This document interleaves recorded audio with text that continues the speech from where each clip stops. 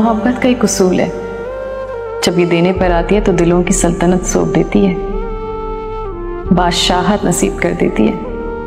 लेकिन जब यही मोहब्बत अपने होने का खराज भी मांगती है तो लम्हे में खाक कर देती है।